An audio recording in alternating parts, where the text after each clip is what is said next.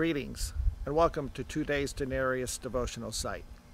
I'm Ron Thomas, the creator of this channel, and I put this channel together uh, as a time for people to get away, uh, to learn something new, or to focus on something their faith they need to grow by. Uh, we're all in this Christian walk together, and we all need encouragement in our walk of faith. I hope that Two Days Denarius fills that for you, and certainly uh, feel free to uh, make comments, like, subscribe, uh, those are of interest to me as well.